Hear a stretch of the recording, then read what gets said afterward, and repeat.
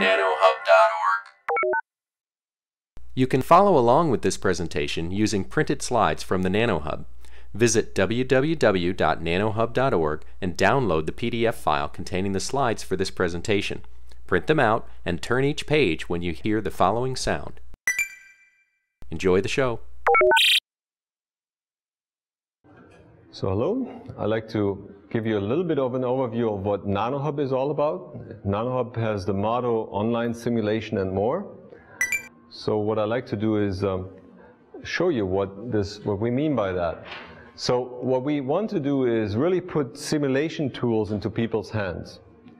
And the people we have in mind are not the computer geeks like me, because I know what SSH are and MPI and what a Unix command line is but it's the experimentalists that have problems to solve and the educators that have concepts to teach.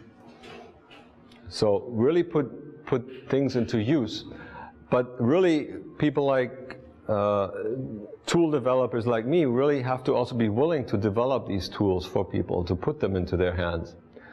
And, and we do a whole lot more where we uh, have educational material that goes with these tools to explain what the concepts are, we deliver them on NanoHub as well, and also in forms like podcasts and seminars and tutorials.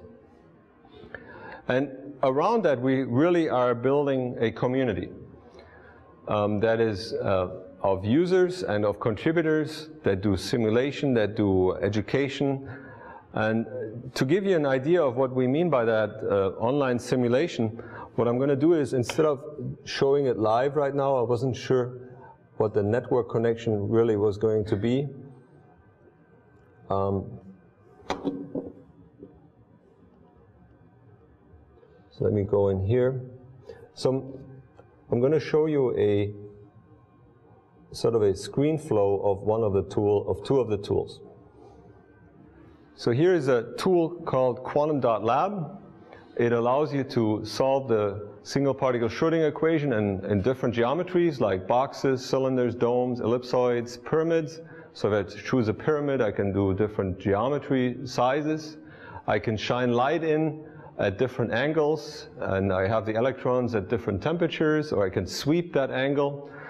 And if I start the simulation, it runs pretty fast in a few seconds, and it comes up with a visualization of a single uh, electron wave function. So here it was the s orbital, here's the px orbital, it's aligned in the x direction. Um, you can sort of validate a little bit by putting in a cut plane. Uh, so you can move that cut plane around to give you an idea. All of this is working interactively on the web uh, in this form. You can rotate it around and modify the cut plane, look at the different wave functions. So now here is the uh, py-like wave function, it has a symmetry in the other direction. That's what, like what you expect out of simple quantum mechanical uh, simulations. And now you look at the, uh, the, th the third excited state, and you would expect to see a pz-like wave function, but really it, the symmetry has broken, um, and you see actually a, a lobe that's on the top in its apex, and two side lobes on the bottom. So the geometry of the confinement has changed the wave function away from what you normally would have expected. You can play with the isosurfaces by moving the isosurfaces around. You can introduce new ones by clicking on them. And again, you can uh, uh, sort of see how these isosurfaces were added in the center. Now you see the further excited states. That looks like a 2 to 1 state. And the next one looks even more funky. There's like lobes that are overlapping with each other. Again, you see how the geometry of the device of these pyramidal dots really make uh, a, a, difference on the internal wave function. So now we're going to look at uh, some uh, energy states, and this is sort of a loop into the energy into the energy ladder of the states that you can look around in. You can look at uh, the allowed and not allowed transitions in the system. So here the X-polarized uh, states that are allowed, transitions that are allowed. Here's an absorption that is uh, calculated. And here's the absorption for three different incident angles that was computed. Now, here's the integrated absorption as a function of angle. We go back to the wave functions, go back to the input, and we change the device geometry around, just change the height of the quantum dot, the pyramidal dot, quantum dot to 5.5 nanometer, rerun the, uh, the case, and now we can look at the wave functions again, and we can look at the absorption in the 5.5 case, the 5.0 case. We can switch the results around. We can put it with the all button on the same uh, graph. We can change the geometry again to 6 nanometers, and then start to compare three cases uh, again, so it runs pretty fast. It runs the NeMo 3D code under the hood. Um, and here you see three absorption coefficients for three different heights. And you can sort of ramp through the, the different results and compare them. And you can zoom into data, so it's pretty interactive. You can pick out uh, results, you can hover over them, you can pan them around. Um, so it's not a static GIF image that is typically developed with a web interface, but it's a dynamic interface. You can hover over the values. And here again, you see how it's meshed um, to resolve these sharp peaks. And that's it. So here's the, another tool which is kind of like NeMo 1D. It's uh, an RT uh, resonant tunneling diode simulation tool. I want to highlight this one as well. So here's the resonant tunneling diode simulation tool, uh, RTD NEGF on NanoHub. Um, it runs a little, uh, in a few minutes. We sped up the time a little bit where now you see the resonant tunneling diode. It's a double barrier structure. You can ramp through the voltage. You see the central states in the, uh, in the central RTD. Uh, they correspond to transmission coefficients that vary as a function of bias. So here are the transmission coefficients. And the next thing is you get a current voltage characteristic in this RTD that is characteristically N-shaped. You can change the charge model to a potential model to a Hartree charge self-consistent model. It runs a little slower, a few minutes. Um, and then you can compare again the conduction band edges and you can look at the charge density, which is the critical element that's different. Now you see, actually see a quantum mechanical charge. You see the charges are rounded compared to the semi-classical charge, which was assuming uh, uh, the Thomas Fermi type model, and you see how the charge is piled up in a triangular shape against the barrier, which ultimately results in uh, current voltage characteristics that are quite different. Um, and they have uh, uh, different characteristics to them. And if we now go in and make the structure a little bit asymmetric and make the right barrier, the barrier 2, a little bit thicker, and run, uh, hit the simulate button again, it runs for a little while longer. And we would expect to see charge accumulation in this device when this barrier here on the right is a little bit thicker. And in the next one, we will look at the charge density, I believe. Yes? And you can see charge piling up in the middle of the device and then emptying out. So you have charge pileup, uh, accumulation, and depletion. And you can compare these IV curves, and the IV is stretched out a little bit to the right. If I want to click on, have all of the IVs that were simulated, I can do that by clicking on the parameter button underneath. And now I can compare against, uh, again, the different uh, device simulations that were done. So the key element is really here that you can interactively explore these devices and learn about them. So that gives you a, a little bit of an idea of what NanoHub allows you to do. And most of our tools are like that. And I want to put this into contrast what most people consider web development of, uh, or web deployment of tools. And we had done this, we started this at Purdue at 1995 with a system called Punch, Purdue University Network Computing Hub. And that was developed at a time where there wasn't even an Apache web server available, right? So they had to write their own web server to do this.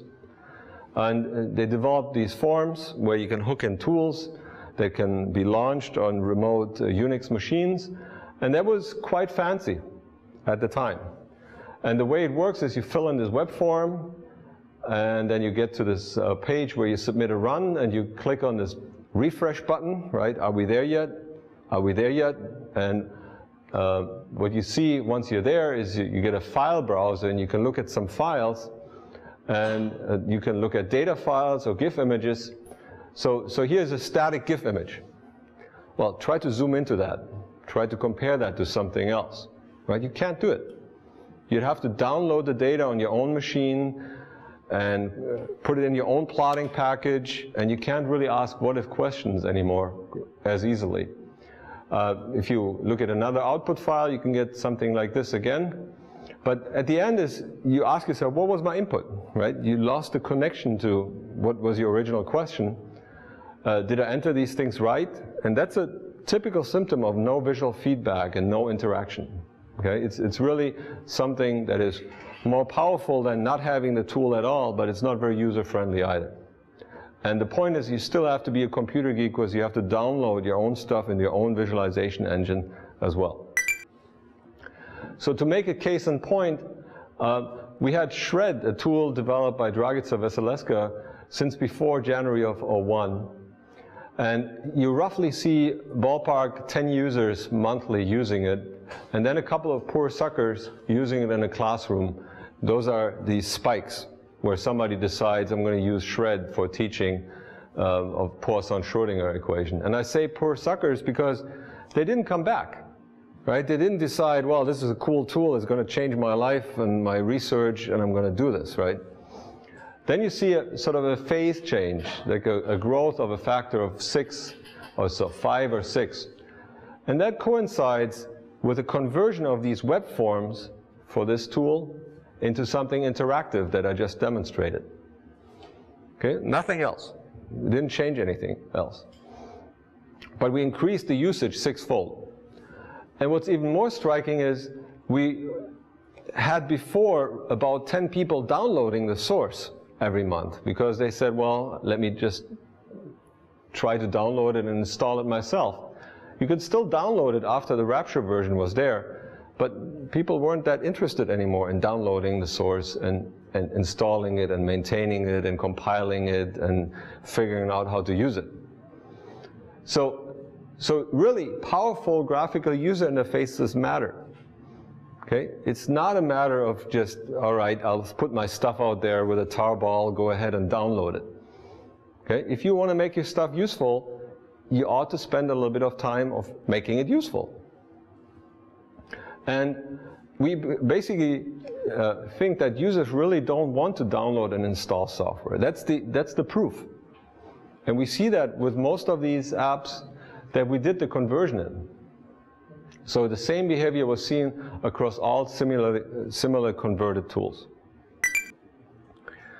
So to give you an idea of how this system works, I'm going to show you a system architecture of this. So from the outside, nanohub.org looks just like a, a normal website that has a content management system. But if you go into a, a tool page where you say, okay, I want to launch a tool, what happens is a, a virtual machine on top of a physical machine gets allocated, and in that virtual machine, we run a Unix application a full-fledged Unix application with a real user interface, and we pipe that interface to the user into the browser. So it's kind of like a remote desktop or VNC. If these things mean something to you, that's fine. If they don't, then consider it magic. Well, the good thing is now if you run, all this authentication has been, has been happening through this Maxwell's daemon. Now if you run a simulation, it could run in this virtual machine, if it's a lightweight application. But if it's a heavyweight application, it could go to a, a grid environment where these jobs could be launched on some remote machines. And all the authentication already has happened, right? It's behind the system. Right? You don't have to have your own grid certificates and user certificates and MPI commands and SSH commands as a user. It's completely transparent to the user. Now, XY plots and simple plots are actually also delivered from this virtual machine. But if you want to have fancy graphics like uh, 3D rendering of what I had demonstrated earlier, we have a visualization engine that sits in the back and we pipe the data into it. And when I interact with these 3D uh, rendering, uh, um, images, I actually interact with this visualization engine we call NanoVis. We, do, we have 3D volume rendering in there, and we can do uh, PyMol, like um, um, uh, molecular Uh, modeling as well. And just pipe the data to this rendering engine, and then pipe that, the, the output to the user. And again, the user would be interacting with a rendering machine that sits somewhere in the world. Okay? It happens to sit at Purdue. So the problem with scientific computing is not only the creation of the core engine, but the normal process is also that something gets created by a PhD student and that one PhD student can use it and maybe the advisor can use it, maybe, and that's it. There's a sort of a cruddy input deck, right, that is not documented, and uh, there is no user interface to speak of, right? You dump out the data in some arbitrary format and you put it into MATLAB or Origin or XMGrace, whatever your favorite plotting package is, and that's it. And so typically there is no user interface, but if you really want to make your stuff useful to others, they have to have an interface. And that is where Rappture comes into play where you can, uh, it was created at the NCN in November 2004. It's an open source package. And it can work uh, on, as a desktop application, and it can work for NanoHub. And what it does, it, uh, it really puts a wrapper around your simulation code. And you can write a sophisticated graphical interface like this that takes literally an undergraduate, to undergraduate student two days to create. It's actually very simple. And what's really cool about it is we're not asking you to rewrite your simulation code in Java, right? Which is a, in general, a ridiculous thing for some people to ask, where they say, well, if you want to deploy on the web now, no, you got to rewrite your code. That's, that's pretty pathetic. So you can, if you wrote your code in C or Fortran or MATLAB or Python or Perl or Tcl, Rappture will work for you. You don't have to rewrite anything which is a, a quite a powerful thing. And that really allowed us to enable scientists and engineers like you to uh, develop their own graphical interfaces. It's not that we are in the process of, well, now you, your boss said, well, you got to put this on the web, now you got to hire a web developer that puts PHP wrappers around your code or rewrites your code in Java. It, you can leave it as is, as a Unix engine, put an interface on top, and then deploy that Unix engine. It's very powerful. And we have now over 140 tools online. And what I want to drive home is that most other science gateways that I'm aware of say, well, I have this tool, now I want to web deploy it, I got to rewrite major chunks of it, so I need three full-time employees for say, three years to do that process. That's nine so-called FTE. I can guarantee you that as a center, we don't have nine FTEs for all of these 140 tools, right? So we're doing something radically different. All of these tools are interactive. You can rotate molecules around, or you can uh, look at nanowires, you can look at DFT type calculation or molecular dynamics calculations, or you can look at uh, MOSFET simulations. Um, so it's a broad variety of tools out there. What's cool also is it's a free account. Just confirm your email address so you don't have to know me or meet me at a conference. And still I see this happen all the time. I give a NanoHub talk and at the end of my presentation people come to me, hey, can you sign me up? I'm like, no, it's just fine. Just log on and you get on. You don't have to know me. Uh, you don't have to write a grant to, to get onto this computational resource. Uh, you can dispatch jobs on the grid. Uh, it's done automatically for you. So if you have high intensity jobs, it, it's done on the grid. Um, you can let it run, check back later from home, for example. There's an, a, a, place called My Nano Hub where it manages all your uh, all your runs, and you can close the laptop at work and, and or desktop and come back from home and check on your runs. It's completely transparent. There's an integrated, uh, integrated uh, uh, visualization engine that is uh, running seamlessly. that was developed at the, at the NCN. And uh, since grid computing really has to be hard, right? Not really. We can download results in a single click with all the authentication being done. So no grid certificates or things like that needed. And there is some 200 projects in this nanoforge.org where people have decided to deploy tools. Um, and it's an environment, it's kind of like SourceForge, but for the nano community. You can decide whether you want to do it open source or closed source. That is depending on you and your advisor and your agenda of how you like to proceed, but it gives you a space to work in. So again, NanoHub is about online simulation and a whole lot more. And we really are building a community around this in, uh, in the world. So here's the website. Uh, if you haven't been there, it's just a screenshot where we feature some tools in the middle, some online presentation and people, and it's about simulation, research, teaching and learning, contributing to the site, and uh, networks. We have some 1,600 resources there now. Uh, I mentioned over 140 tools, so there's a lot of seminars, and most of them, uh, of these resources are in this Creative Commons license, meaning that uh, we allow others to take that content and integrate it into their own courses, as long as it's not commercial uh, use. Um, it's a typical Creative Commons license. There is a, a worldwide community. We have over 90,000 people in the last 12 months that utilize NanoHub. Uh, each of these red dots is sort of a user around the world. It has seen a dramatic growth over the years in, in 172 countries. Um, I'm sure you're aware in the US, all the university ha universities have a .edu at the end, right? Purdue.edu, MIT.edu, yourhaircare.edu, yourundertaker.edu. I mean, there's about 7,050 of those .edus. We have at least one user at 17% of these .edus. And nano is a really tiny area, and the pun is intended, um, but that's a huge impact. I mean, to have, to, to reach 17% of all of, all of those .edus, and we have users at all top 50 engineering schools in the United States. In the last uh, 12 months, there were 72 classes in over 41 institutions that used NanoHub for teaching in the classroom. And if you compare this to this famous NASA chart of Earth at night, we're clearly keeping people up at night. So uh, with that, I want to highlight that I think what we do is really change um, and evolve scientific computing.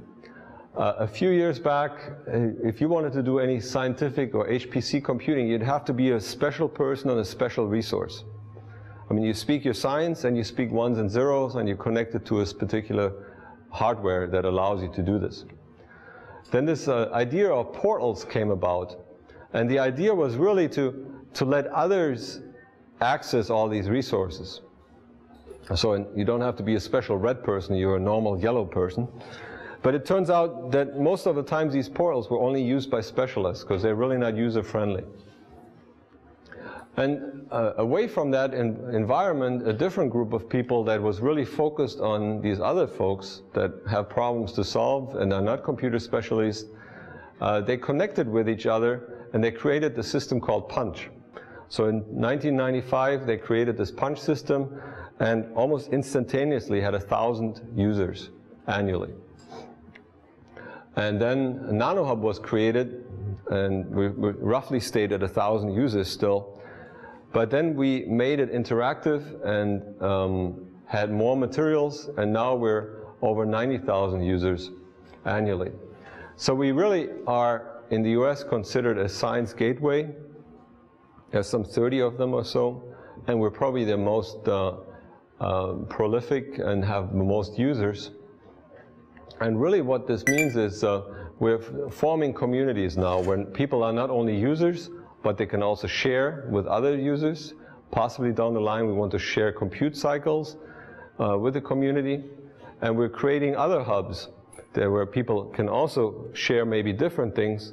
And down the line, we would love to connect those hubs together. So this is a slide that's two three years old already. And there was a, sort of a plan to create these other hubs.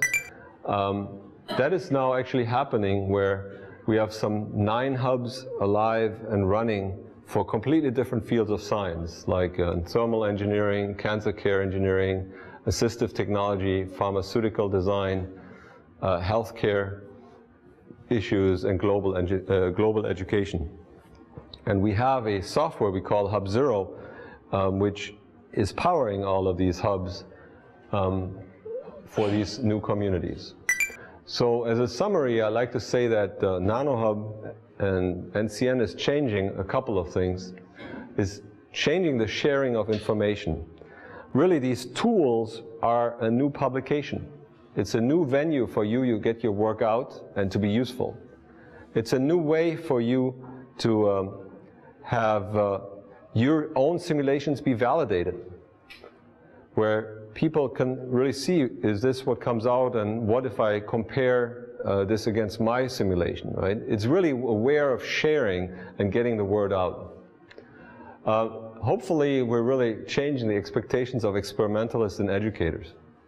The idea really is to make simulation useful for those folks, rather than, oh yeah, that's the theory guy. He, he has a nice toy and that's fine. Uh, certainly, we have changed the pace of tool deployment. There's no other site like us that has that many tools online. And cyber infrastructure is really uh, uh, an important uh, new development in our technology portfolio, and we're changing the face of that by really um, enabling people to share and reach other communities. So with that, I'll take some questions. Yes? I would like to comment about uh, the target uh, this kind of uh, web-based uh, computational tool about the community of uh, computational services. I say, is it something that I think will be suitable also for the harder computational people stuff, or is something that will be mainly for uh, experimentalists uh, teaching, uh, so a sort of make it easy calculations. Mm -hmm. So I, so the, the comment or the question is, can this be useful for computational scientists, yeah. right? So I think it can, and I think it is to a certain degree already.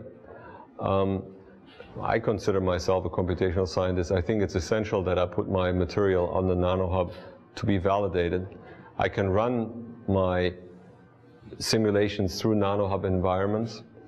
All of my students are working on it um, to develop their own codes through NanoHub technology and with NanoHub technology.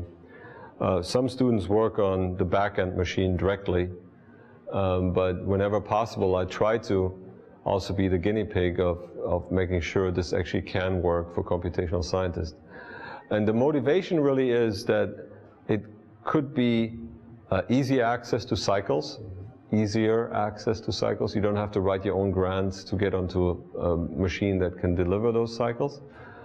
Uh, number two, I think if uh, computational science is supposed to be the third leg of science next to experiment and theory, it better start to grow a little bit in terms of being validated, uh, being being able to be validated, because part of an experiment is that you put your processes and um, and your uh, uh, to process for experiment down in a paper and somebody else can duplicate it. But most computational science is not duplicatable right now. Right? I mean, nobody or few people publish their code that actually generated this, right? And if you've ever written a code, there's so many little quirks, so many if statements on tuning of some parameter that you know nobody else in the world can possibly duplicate this. If it's not duplicatable, it's not science. Okay? So if computational science wants to fess up and be science, it needs to be duplicatable, and we need to find venues for people to share their methodologies in a way that's open and duplicatable. And this might be just a venue to do that. So sorry, that's the long answer of yeah. why. It, I also think that something that very useful uh, in this uh, vision of uh, this stuff is that uh, it makes it uh, also much much easier comparing uh, uh, various softwares uh, because uh, usually there is just a few in which you are very skilled, you uh, your hands in, but uh, you don't compare usually so much because it's too difficult learning uh, deeply Right. uh. I mean, from my personal experience, it allows me to run codes like Abinit that I would never run, right? Because I, I just don't have the time to learn all of the quirks and intricacies of Abinit as an ab initio calculation, but I, I know I need to get my feet wet into it if I want to do atomistic type simulations.